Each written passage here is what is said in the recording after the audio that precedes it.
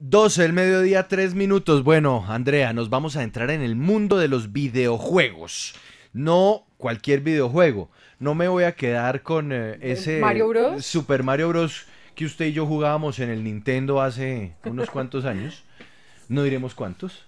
Sí. Sino en la tendencia Yo de... jugaba Tiny Toons. Usted, ¿y, y cómo era Tiny Toons? ¿Qué pasaba en Tiny Toons, Andrea?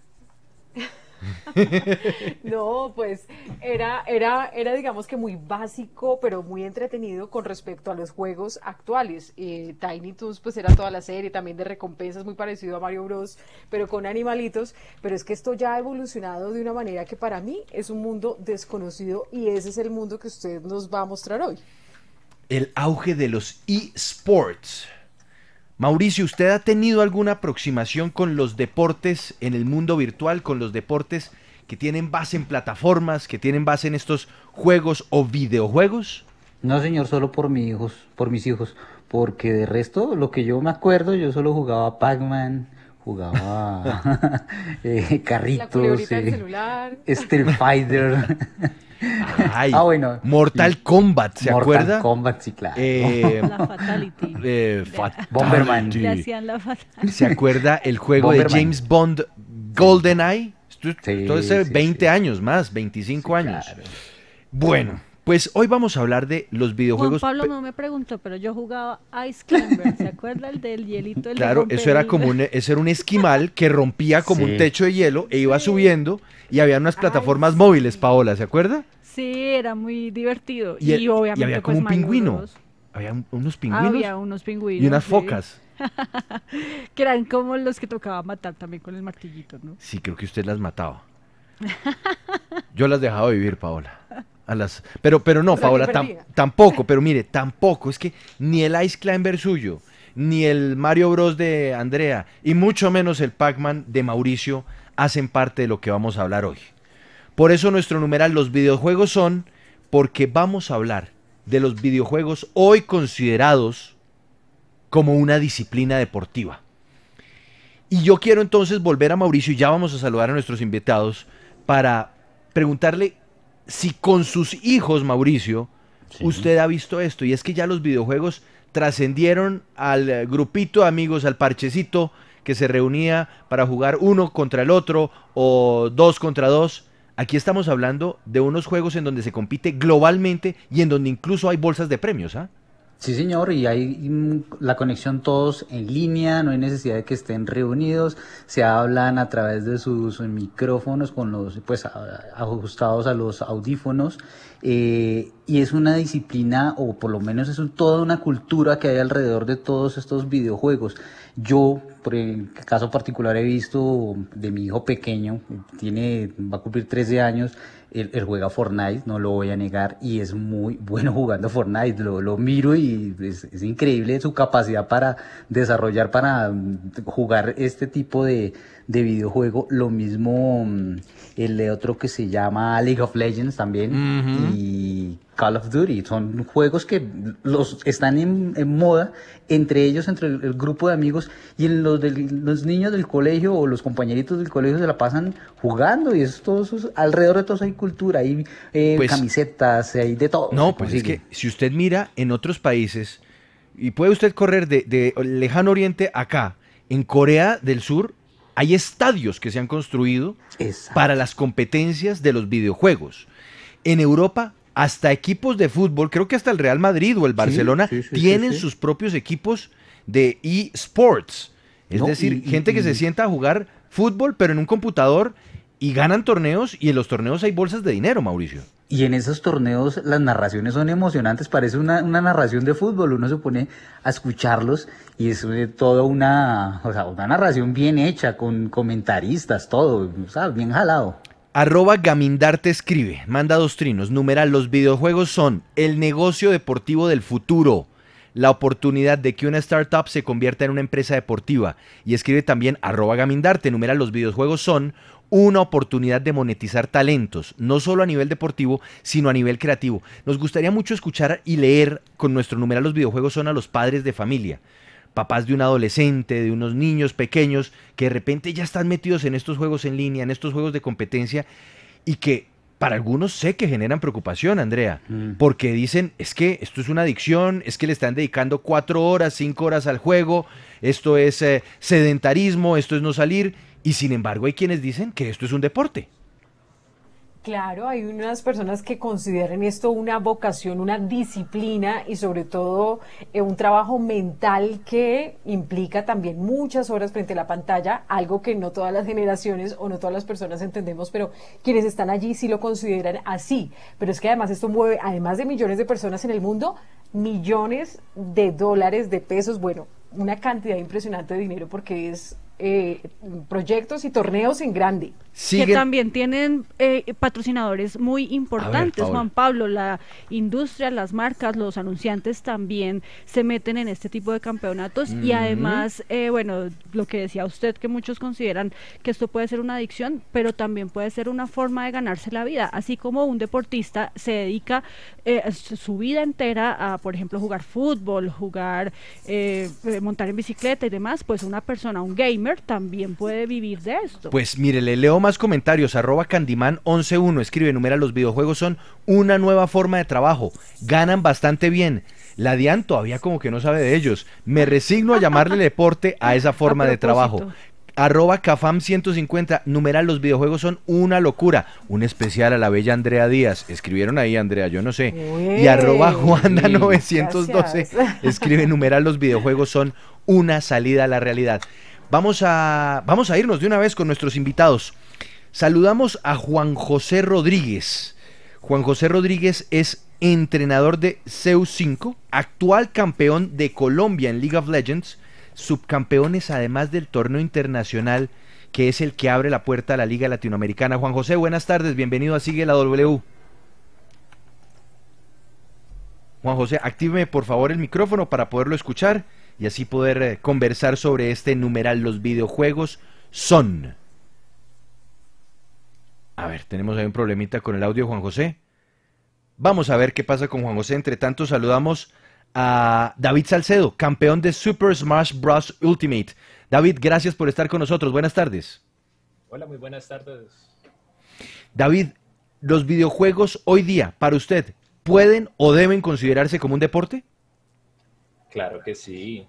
O sea, es el deporte del presente que se veía un futuro muy lejano hace una generación. Pero ahora es la bomba. ahora es la bomba. Pero David, a mí me, me sorprende que se termine llamando deporte algo que no implica actividad física. ¿Por qué razón los videojuegos sí serían un deporte cuando usted no está, pues digamos, usted no está generando movimiento en sus músculos, usted no está eh, haciendo, digamos, unos movimientos para perfeccionar eh, la destreza, digamos, a la hora de patear un balón, a la hora de coger una garrocha, a la hora de pedalear una bicicleta o de andar en unos patines? Usted está se- sentado frente a una pantalla. ¿Cómo se asemeja esto a un deporte? Pues veamos un poco de historia. Antes de los deportes tradicionales, de los deportes tradicionales, perdón, eh, podíamos ver que la gente se, entretenía en coliseos y literal, el, o sea, la forma de entretenerse era poner a unos luchadores a darse palo y espada con leones. Eso cambió a algo como lo que vemos ahora con el fútbol. Y si tú notas ese cambio es muy drástico, ¿no? Porque entonces los reyes podrían decir, bueno, ¿y dónde está la violencia y la acción y todo? Eso cambió. Y ahora los deportes tradicionales migran a, o sea, no se van a perder, pero se les abre una ventana a una opción más, que son los deportes electrónicos. ¿Ya? Tú me dices que no hay una acción física y que no hay un acondicionamiento previo, pero sí lo hay. Todo eso se, puede, ¿cómo decirlo?, resumir en una disciplina, porque tú tienes que entrenar, debes ser juicioso, debes de una u otra manera entender lo que estás haciendo y con esa disciplina y esa dedicación vas a lograr buenos resultados. Tú ves un, un ambiente competitivo y no puedes pretender de que yo cojo un control y soy el número uno. No, eso es escalar de peldaño a peldaño y eso es bastante trabajo. Numeral. No es tan fácil como parece. David, permítame, voy a leer comentarios. Vamos a saludar a nuestro siguiente invitado. Numeral los videojuegos son arroba patricio8475. Escribe, los videojuegos son tan exitosos que hicieron una serie de televisión para niños llamada Newbies. Arroba Johan DR. Numeral los videojuegos son una industria que factura más que el cine y la música juntos. ¿De qué se sorprenden?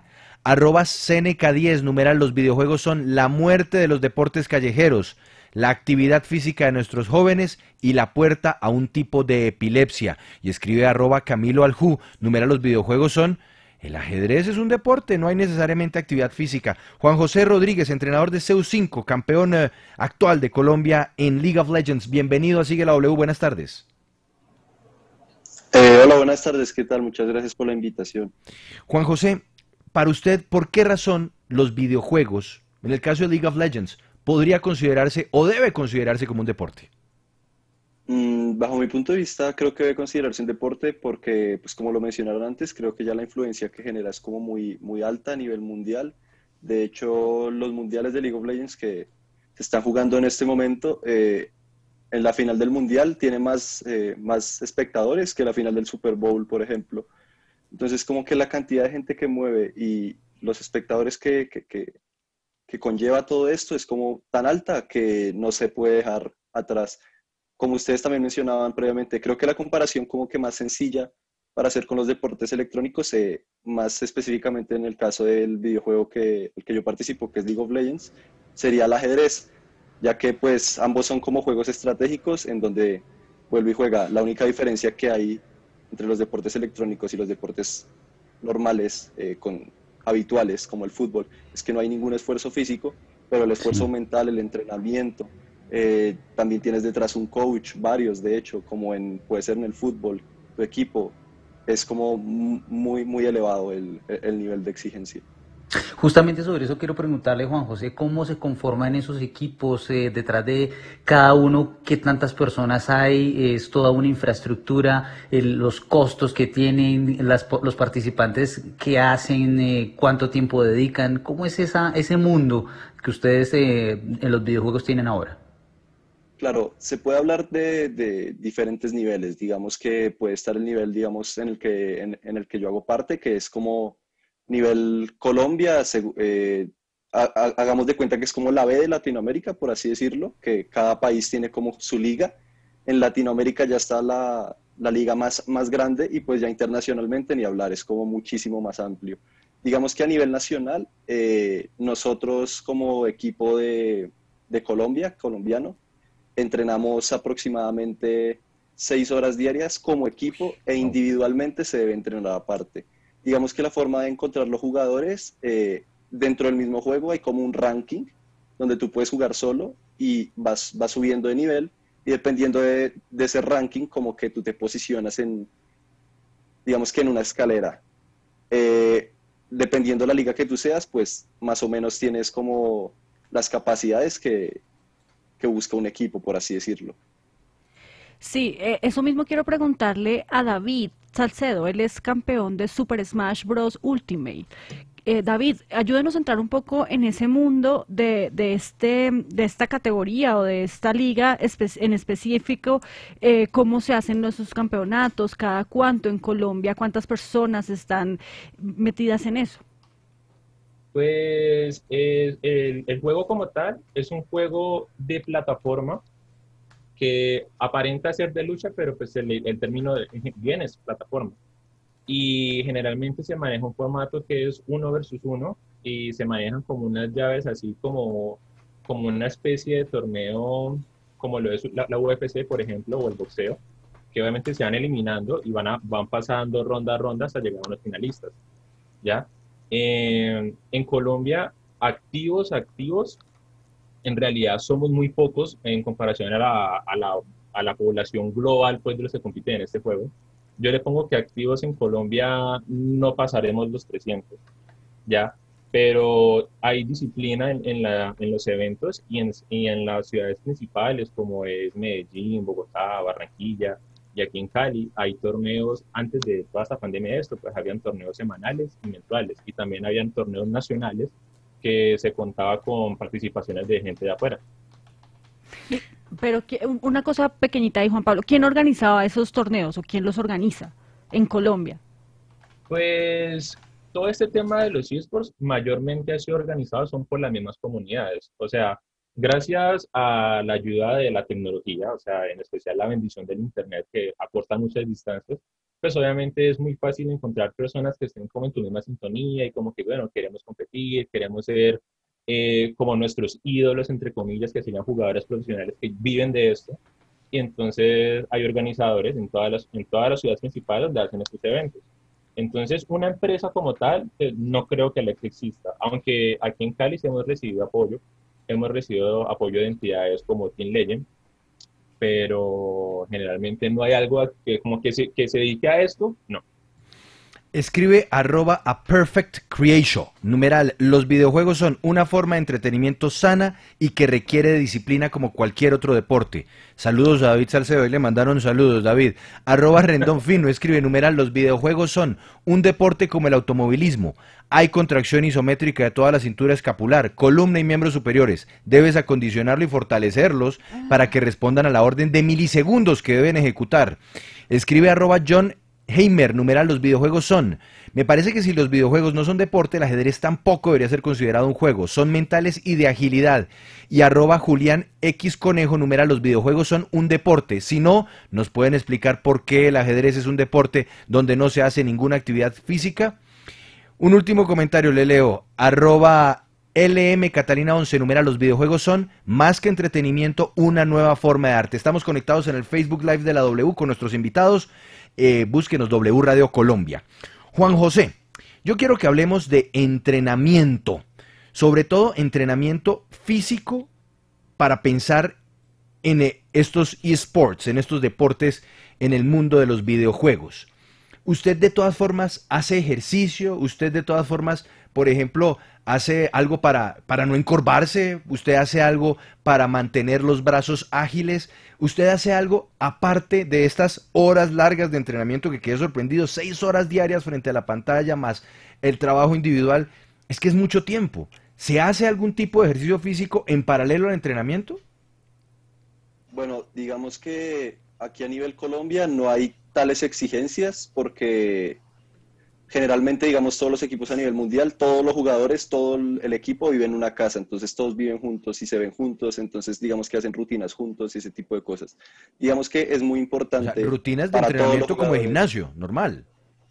Exacto. Hay unos que deciden tomarlas y otros que no. La mayoría eh, hacen gimnasio aparte, bueno, algunos, perdón, hacen gimnasio aparte de las rutinas como que previas que tienen que hacer. Digamos que en cuanto a encorvarse y ese tipo de detalles, Mm, creo que, que, no se hace ningún tipo de entrenamiento, si bien pues hay unas sillas especializadas para, para ayudar con ese tipo de cosas, pero digamos que todos los jugadores de, de League of Legends en general eh, se les recomienda mucho hacer ejercicios de mano, de brazos, porque el túnel carpiano pues es muy común en, en este tipo de, de, deportes, entonces se pide pues mucho estiramiento previo antes de, de competir o, o de, jugar alguna partida o en medio de partidas, ¿sí? Digamos que es muy importante porque, como te mencioné, los jugadores a nivel mundial juegan más o menos 10, 11 horas diarias al juego, entonces pues es mucho tiempo de, exigencia y, las manos necesitan. En un campeonato, pues, en un campeonato, ¿cuántas horas diarias y cuántos días se gastan jugando? Digamos que ahorita, como te comenté, ahorita están en los mundiales, que es el torneo más importante del año. En los mundiales los equipos por lo general se levantan, juegan, mejor dicho, solo comen, van al baño y juegan, no hacen nada más. Y, discuten con el coach y hablan con los entrenadores. ¿Y, ¿Y por cuántos días? el mundial dura un mes. Imagínese eso. Mire, numeral. Los videojuegos son, Andrea, va usted con sus preguntas, arroba barrera Oscar, escribe, definitivamente, numeral, los videojuegos son una verdadera disciplina deportiva, tanto en Latinoamérica, que a propósito Colombia está disfrutando dicha actividad por Señal Colombia y su, y su franja Señal Deportes. Ah, qué bueno. Buen dato ese y bien por Álvaro García, el gerente de RTBC. Arroba Psijavi escribe numeral, los videojuegos son muy exitosos, pero no son un deporte ni deben pretender serlo. Simplemente son un entretenimiento que genera dinero. Pero por definición simple jamás será un deporte y las consecuencias de su práctica a la larga no son tan saludables. Andrea, sigamos hablando de los esports, los videojuegos como deporte. Quiero ir con David Salcedo y preguntarle por cómo empezó usted a digamos que tomarse esto, esto de, los gamers, de, los videojuegos tan en serio, más allá de algo para matar el tiempo, ¿en qué momento cambia usted hacerlo de manera muy profesional y también qué le comentaba a su entorno, su familia, si eso incluso le trajo algún tipo de comentarios de, problemas? Por si, lo regañaron en la casa, oiga, deje de estar tanto tiempo en ese computador. Se le van a cuadricular los ojos. Pero ya cuando Mire, empezó ya tiran pollas en los dedos. no, lo regañan. Exacto, David, eh, ¿cómo fue ese proceso? Cuéntenos un poquito. Pues, a ver, obviamente, pues contando un poquito mi historia, yo me remonto al pasado, al pasado, así hablemos como esto después de 2004, 2005. Eh, aquí en Cali hubo un torneo muy grande por un centro comercial, eh, se llama Palmetto, y yo era un niño, o sea, yo tenía como 12 años, y, bueno, yo me inscribí pues, porque yo jugaba el juego en mi casa con mi hermano, pero nunca pensé como en llegar muy lejos. Eh, eso fue un torneo de un juego que se llama Tekken, que también es de, lucha, y habían más de 100 participantes. Entonces nos dividieron por categorías, entonces yo estaba en la categoría de niños. Entonces, los finalistas de cada categoría se enfrentaron. Y curiosamente, pues yo gané en la categoría de niños y terminé enfrentándome con el mejor de los adultos. Y cuando yo sentí como, como que la gente como que me hacía barra y pujaba por mí, o sea, yo como que, como me sentí como que, wow, o sea, tengo apoyo. Y me sentí como emocionada y pues lastimosamente no gané, pero quedé en esa final y eso como que me hizo como, como que yo quiero volver a sentir esto, quiero como que sentir ese apoyo, como esa, como esa vibra. Y ya comencé ya un poquito a educarme más y a jugar un poquito más en serio las cosas, ya no solo por divertirme, sino como que quiero ser el mejor, o sea, no quiero perder. Entonces mi espíritu de competitividad fue creciendo. Ya obviamente eso fue migrando por los años y ya pues el internet que apareció, que fue una bendición permite que todo el mundo se comunique muy fácil. Ya era más, más común ver torneos, ya no solo en centros comerciales, sino ya grupos de gente que se reunía aquí y allá. Entonces ya las comunidades se fueron expandiendo. Y obviamente, pues ya cuando yo entré a la universidad, yo, pues obviamente, yo decía como que no, pues yo soy jugador competitivo de, Smash Brothers, pues gente como que, ¿y este qué o qué? Pero pues la verdad es que es algo de que lo, lo comencé a hacer por pasión y cuando comencé a tener buenos resultados, pues obviamente comenzaban a haber interés. Y obviamente, pues en mi casa como que, bueno, yo me iba un fin de semana y regresaba con 300 mil pesos en el bolsillo, como que ¿qué pasó, mijo? No, gané el torneo y como que, ah, vea pues, y, bueno, eso, esos 300 mil pesos, pues obviamente para alguien que está en la universidad, que no tenía un trabajo en esa época, pues obviamente para uno es como que, wow, me lo hice en un día. Y, la plata, claro. Y, y, eso, y eso son cifras muy pequeñas a lo que se ve globalmente, ¿ya? Entonces, obviamente, las comunidades han ido creciendo y tristemente en Colombia no hay un apoyo de un tercero o una entidad fuerte que impulse esto. Entonces, se puede decir que hay muchos talentos que hay regados en todo el país, pues no han tenido su oportunidad de brillar o ejercer esto como una profesión, porque digamos que aquí no está ese tipo de apoyo. Numeral, los videojuegos son, arroba julinlo44, escribe numeral, los videojuegos son un hobby, como cocinar, dar conferencias o comer. ¿Dónde está el sudor? ¿Dónde está el contacto físico? Que generen mucho dinero no lo convierte en un deporte. Arroba Yetacato11 numera los videojuegos son un deporte mental donde se desarrollan actividades cognitivas, habilidades cognitivas, sociales, promueven el pensamiento creativo, la toma de decisiones y fortalecen la memoria y el trabajo en equipo numeral. Los videojuegos son, escribe Harold, Numera los videojuegos son, les cuento que yo estoy tratando de que los equipos de fútbol colombiano tengan un departamento de eSports. Ojo, lo que estábamos hablando ahorita, Mauricio. Son los equipos más grandes los que tienen la capacidad. Mis aliados son los duros de la TAM. Siempregames.com. Interesante además esa puerta, Mauricio, lo que decíamos hace un instante, los equipos de fútbol grandes en el mundo le están apostando a esto, porque este es un nuevo escenario, un nuevo campo, digamos, de competencia en el mundo del deporte. Adelante con sus preguntas, numeral los videojuegos son, Mauricio. No, y como decían que en el, en el se ve más que el Super Bowl, entonces es una situación que de verdad merece toda la atención. Y yo me quiero quedar justamente con ese tema económico. Juan José, ¿cuánto dinero se mueve alrededor de los eSports, de los videojuegos? ¿Cómo se consigue ese patrocinio? Y digamos en el caso particular de ustedes, para el equipo eh, CU5, ¿cómo consiguen ese patrocinio? ¿Y qué premios son los más significativos? Mm, bueno, digamos que a nivel Colombia, eh, por la parte de League of Legends, afortunadamente nosotros sí tenemos una entidad que organiza los torneos y que nos apoya, que es una empresa española llamada la LVP, Liga de Videojuegos Profesional, que empezó su carrera en España y vio que en Latinoamérica podía generar el mismo crecimiento que generó allá. Entonces decidió invertir en varios países, en México, Colombia, Argentina y Chile. Y ahorita acaban de entrar a Ecuador y a Perú. Entonces, como que están bien metidos ahí y pues tenemos apoyo por parte de ellos. A nivel mundial, digamos, en un equipo norteamericano, al, un jugador tranquilamente de los mejores pagados puede ganar un millón de dólares al año, ¿sí? Por contrato.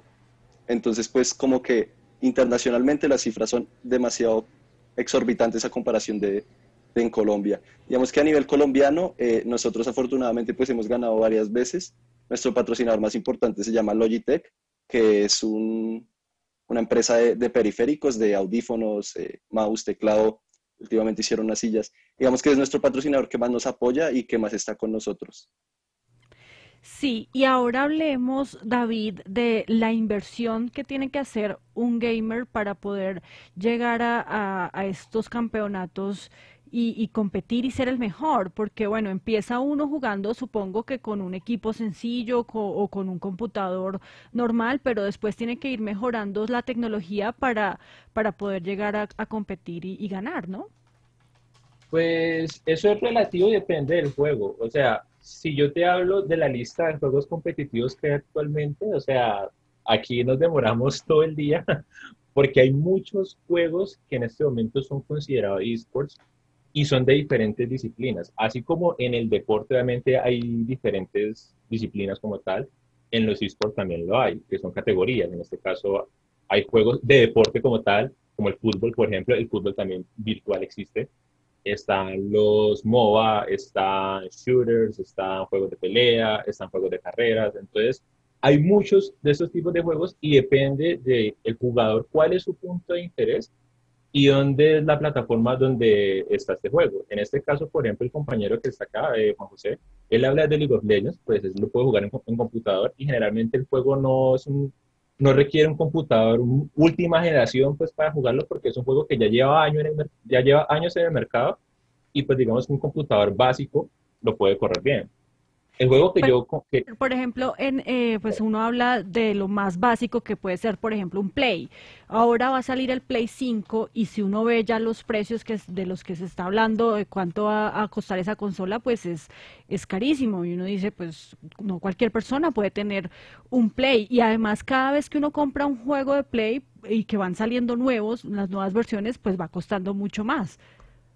A esas inversiones son las que me refiero. Sí, e, eso es cierto y eso aplica para los juegos de consola, pero en realidad un ciclo de vida de un juego eh, pues dura entre 4 a 5 años y generalmente hay juegos que han durado más. Y ahora que tú hablas de plataformas, por ejemplo, los juegos de, lucha están para todas las plataformas, es decir, en un título, diga, hablemos de Street Fighter, por ejemplo. Street Fighter está para PlayStation, pero también está para computador. Entonces, tú vas a jugar el mismo juego en cualquiera de las plataformas, pero pues ya digamos el trabajo competitivo o, la, o lo que tú tienes que hacer para entrenar y mejorar, lo puedes hacer en cualquier plataforma, pero ya eso es como autodidacta, pues uno tiene que hacerlo. 12 del mediodía, 32 minutos. Sigue la W numeral. Los videojuegos son. Siguen llegando y muchísimos comentarios. Arroba M de Pech. Escribe numeral. Los videojuegos son una oportunidad para los jóvenes de ganar dinero matando avatares desde casa. No en la calle matando iguales por centavos. Arroba Frío Templado. Escribe, numera los videojuegos son Clash Royale, es un juego de app con más de 50 millones de jugadores activos al mes, ligas en cuatro continentes, torneos globales con bolsas de decenas de miles de euros. Los esports manejan números asombrosos. Y escribe arroba Crispina Mayín, numeral, los videojuegos son una manera diferente y sana de sobrellevar la vida. Si los usamos bien también, es una sana forma de llevar la vida tranquila. Y arroba de Azarria escribe numera los videojuegos son los que están al otro lado de la lectura. Pregúntele sus conocimientos de cultura general y literatura. Buena pregunta, la voy a transmitir en un momento, arroba de Azarria, pero antes yo quiero preguntarle a Juan José. Juan José, ¿cómo hacen ustedes o cómo hacen los jugadores de estos grandes torneos para estar hasta 10 horas concentrados, sentados frente a una pantalla? ¿Por qué se lo pregunto? Porque he visto, eh, y Vanessa también, nuestra productora, nos estaba comentando, que hay casos y denuncias en lugares como Europa o Estados Unidos de, de doping en los videojuegos, que toman medicamentos para mantenerse alertas, para mantenerse atentos. ¿Eso pasa? ¿Eso es una realidad?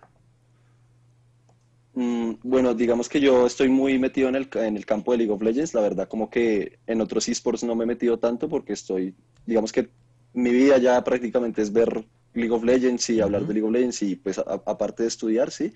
Eh, y en League of Legends, casos que se hayan dado, quizá uno, pero que se haya, digamos que yo recuerde, no, no ha existido. Eh, la forma de mantenerse, digamos, 10 horas concentrado realmente es muy difícil, tienes que hacer como un esfuerzo mental, tiene que ser como un proceso, eso no es como que un día tú llegues y ya puedas durar 10 horas concentrado. Digamos que yo cuando competí, yo, yo fui jugador también, yo, yo nunca llegué a, a ese nivel, como de poder llegar a estar 10 horas jugando al máximo nivel. Entonces, como que digamos que es un proceso mental que tiene que hacer cada jugador, que cada jugador, cada persona sabrá cómo llevar y cómo acompañarlo. Entonces, digamos, no sé si a este jugador le sirve mm, más para concentrarse. Jugar cinco horas, ir al gimnasio y luego jugar cinco horas, pues puede ser una opción, o, jugar tres horas, luego me, comer algo y luego jugar siete horas, sí, independientemente, digamos que eso es un proceso que tiene que hacer cada jugador y que cada persona tiene que saber cómo, cómo llevarlo. Andrea me está alzando la mano, pero le quiero hacer una pregunta rápida tanto a David como a Juan José, inspirado en lo que escribe arroba de Azarria. Eh, David, arranco con usted. ¿Cuánto tiempo dedica usted al estudio? ¿Qué está estudiando? ¿Está estudiando? Pues yo ya me gradué. yo me gradué de dibujo arquitectónico y yo actualmente trabajo como diseñador para una franquicia en Panamá. ¿Le quita tiempo al trabajo el estar en eh, los videojuegos? Pues yo pienso que si uno es ordenado con su vida, le alcanza el tiempo para hacer todo. O sea, Bien. Cuando, yo, cuando yo era estudiante, o sea, yo trabajaba, estudiaba iba al gimnasio y participaba o, entrenaba para mis torneos. O sea, pienso que, la, pienso que la disciplina lo es todo. Novia no tenía. y Andrea, eso, eso para el final. no le queda tiempo para tanto. Juan José, rapidísimo. Usted estudia, trabaja, ¿cómo hace para repartir el tiempo? Y, y, y aprovecho y le pregunto, ¿y cómo le iba con las notas o cómo le va con las notas? Ok, bueno, yo e, este momento aplacé semestre porque la verdad las clases virtuales no, no fueron de mi agrado, entonces pues decidí aplazar. Eh, yo, yo ya hice seis semestres de ingeniería química y entré al séptimo.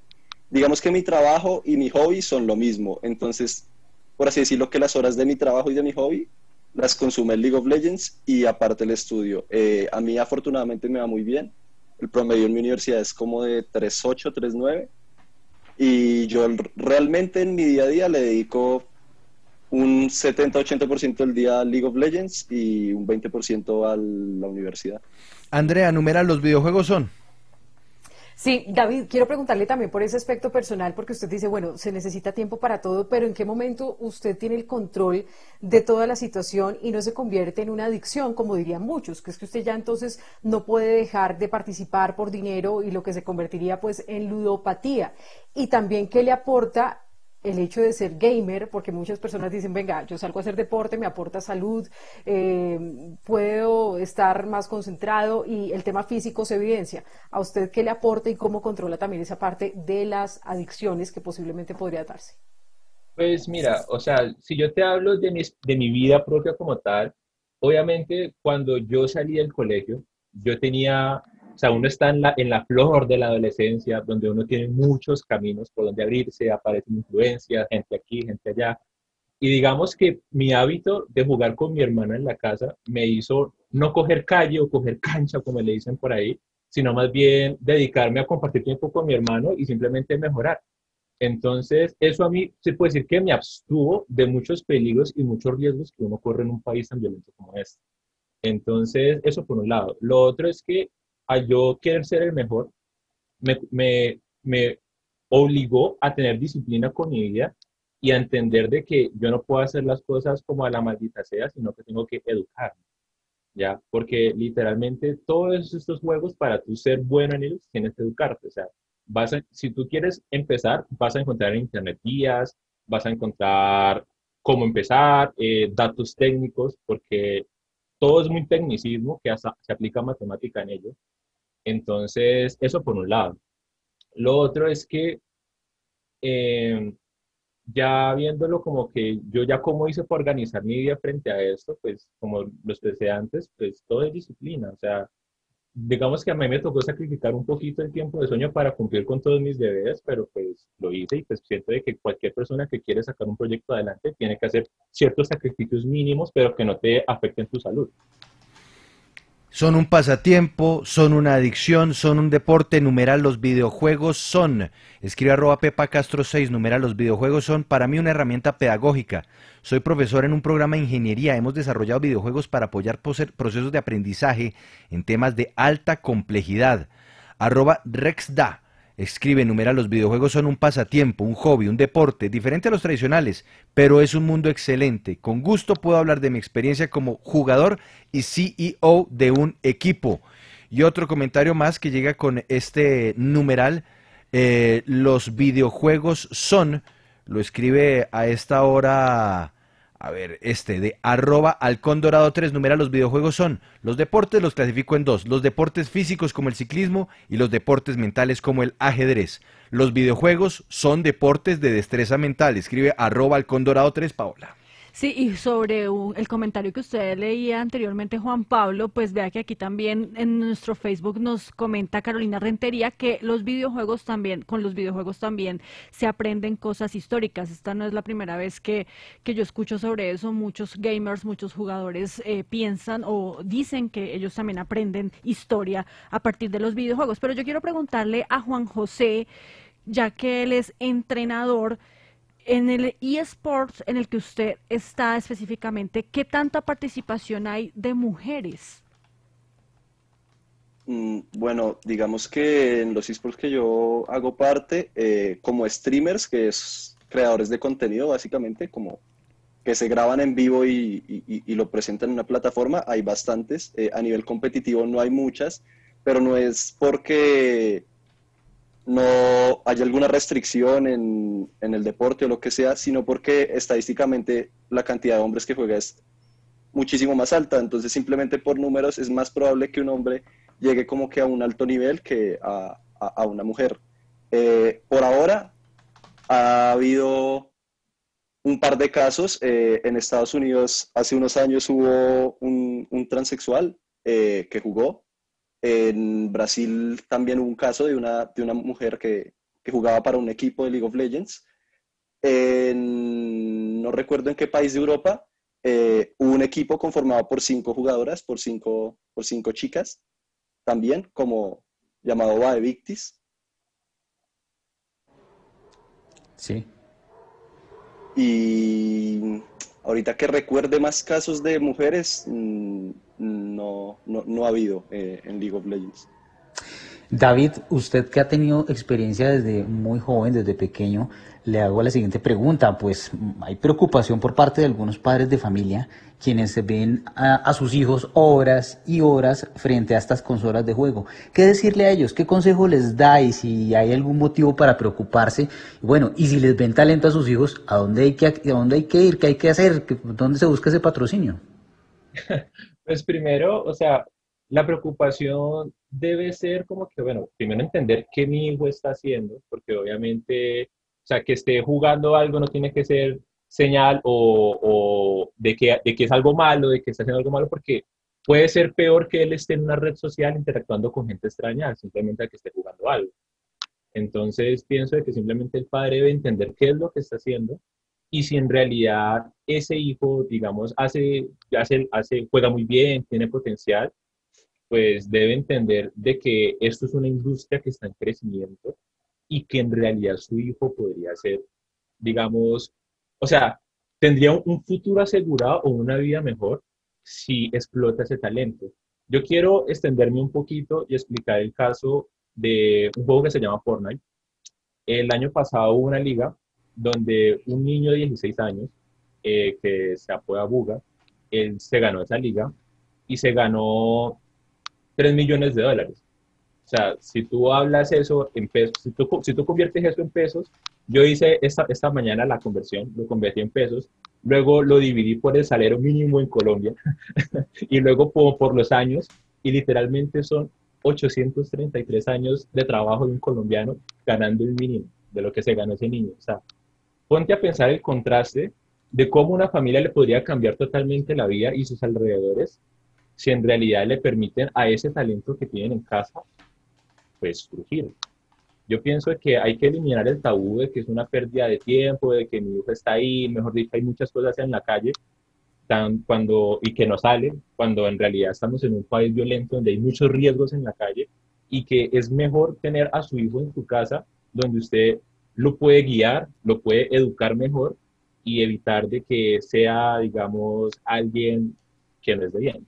Yo pienso que los videojuegos, si se toman de una manera correcta, de una manera consciente y educada, pueden traer muchos beneficios y, más, más, que las desventajas o los problemas que pueden generar, porque pienso de que esos son solo tabús, que en realidad las barreras que se ponen las personas es solo tabú, o sea, es solo mental.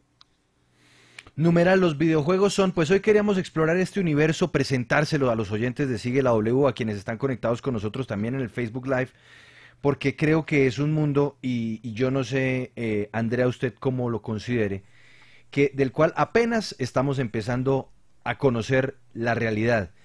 Y yo creo, puedo estar equivocado, que en unos cuantos años, no sé si cinco, no sé si diez, no sé si quince o veinte, lo que hoy estamos viendo como un fenómeno bien particular puede convertirse en una competencia poderosísima, gigantesca además, a los deportes tradicionales que hoy conocemos. Y por eso quería que nos detuviéramos a hablar sobre este tema, que además, como lo dijo Paola, mueve miles de millones de dólares en el planeta entero. Claro, es que me, llamó mucho la atención la cifra que nos decían que tiene más eh, conectados, por ejemplo, en un mundial, más que el Super Bowl.